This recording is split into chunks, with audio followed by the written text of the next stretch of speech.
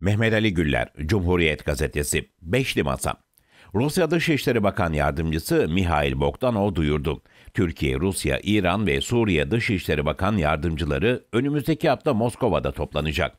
Böylece hem Rusya'nın kolaylaştırıcılığında Türkiye-Şam normalleşmesi hayata geçiyor hem de fiilen Astana üçlüsü Astana dörtlüsüne dönüşüyor. Putin'in açtığı kapı. AKP hükümeti uzun süre direndi. Suriye'nin müttefikleri Rusya ve İran'la işbirliği yapacaktı ancak Suriye karşıtlığını sürdürecekti. Bu denklemi de ABD ile pazarlığında kart olarak kullanacaktı. Bunun uzun süre sürdürülmesi elbette olası değildi. Nitekim Erdoğan'ın Suriye'ye sınır ötesi operasyon ilanı ile birlikte Moskova harekete geçti ve terör sorununun çözümünün yolu Ankara-Şam normalleşmesinden geçer dedi. Tahran'ın da Moskova'ya destek vermesiyle bu yol Astana görüşmelerinde Ankara'nın önüne getirildi. Erdoğan iktidarı konuyu ağırdan aldı, yokuşa sürdü ama en sonunda 28 Aralık 2022'de Moskova'da Türkiye, Suriye, Rusya üçlü savunma bakanları toplantısını kabul etmek zorunda kaldı. Böylece Putin'in açtığı kapı biraz daha aralanmış oldu.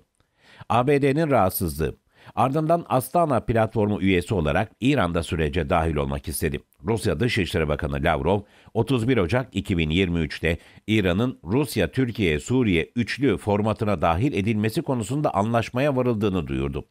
Böylece normalleşmede üçlü format dörtlü formata dönüştü. Bu fiilen Astana üçlüsünün de Astana dörtlüsüne dönüşecek olması demektir. Kaldı ki Suriye kimi Astana toplantılarına yan salondan dolaylı katılmıştı. Böylece ABD için en istenmeyen durum belirmiş oluyor. Astana üçlüsünden yeterince rahatsız olan Washington'ın önünde şimdi de dörtlü tablo var.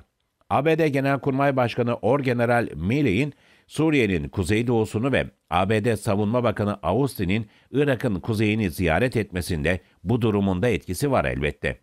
Çin Astana'yı istiyor. Washington açısından bir diğer istenmeyen durumda Çin'in birkaç yıldır Suriye üzerinden ABD'yi sıkıştırıyor olmasıdır.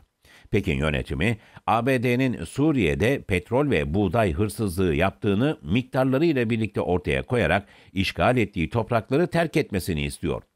Çin Dışişleri Bakanlığı Çin Gang ülkesinin Orta Doğu politikasını anlatırken Çin'in Orta Doğu ülkelerinin stratejik bağımsızlığına kavuşmasını beklediklerini belirtti. Öte yandan Çin, Astana platformuna gözlemci üye olmak istediğini de açıklamıştı. Rusya'nın Astana görüşmelerindeki temsilcisi Lavrentiev, Çin'in katılmasının İranlıların kabul ettiğini, Türk tarafının ise konuyu incelediğini duyurmuştu. Astana'nın kökü 28 Şubat'ta. Görüldüğü gibi önümüzdeki süreçte Astana Beşlisi hayata geçebilir. Şimdi Türkiye açısından mesele şu. Altılı Masa bu olumlu süreci devam ettirecek mi? Kılıçdaroğlu Davutoğlu'na rağmen Türkiye'nin önünü açan bu bölgesel işbirliği mekanizmasını sürdürecek mi? Unutulmamalı, Astana platformu bir AKP uygulaması değildir. Bir devlet uygulamasıdır ve düşünsel kökleri de 28 Şubat sürecindedir.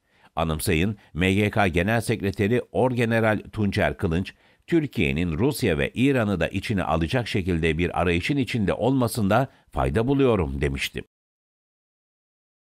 Abone olmayı ve bildirimleri açmayı unutmayın.